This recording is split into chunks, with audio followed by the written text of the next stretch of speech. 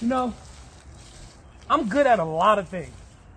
But if I had to pick just one, it'll be survival. Survival of the fittest. Going into the jungle with the lions, tigers, and the bears that come out untouched, coming out unharmed. That's what I do. That's what I've been doing my entire life. Is surviving. And April 13th is no different.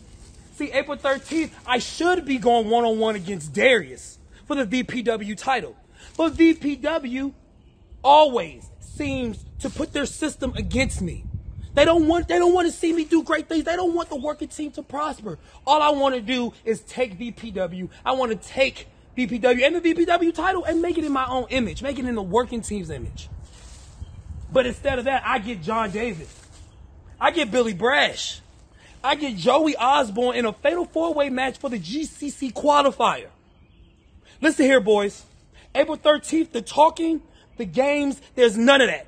I'm coming into Thompson. I'm coming into VPW, and I'm getting John Davis a pair of the beats and the lumps. I'm giving Joey Osborne a pair of the beats and the lumps. I'm giving Billy Brash the pair of the beats and lumps, and I become the number one contender for the VPW title.